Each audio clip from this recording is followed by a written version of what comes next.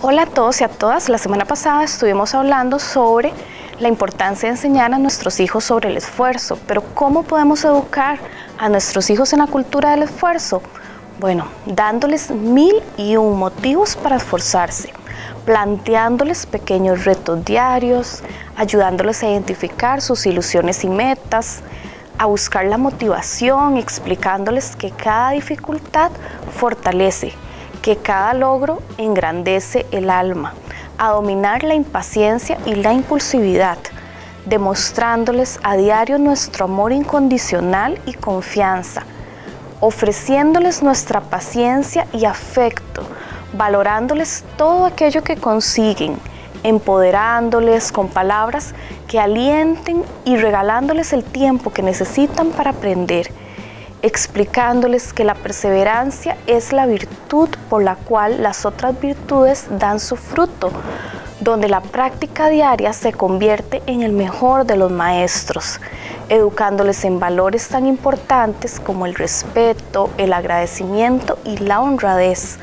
educándoles desde el ejemplo con nuestra actitud ante la vida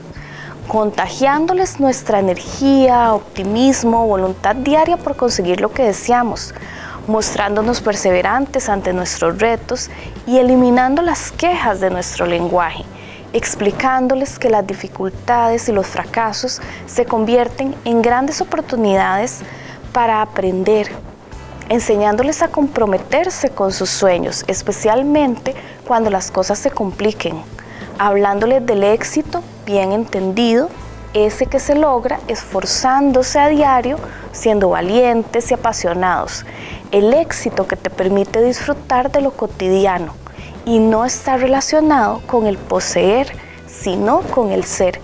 ayudándoles a gestionar las emociones correctamente, a dominar la indecisión y paciencia, a dominar el mal humor o la tristeza cuando las cosas se tuercen,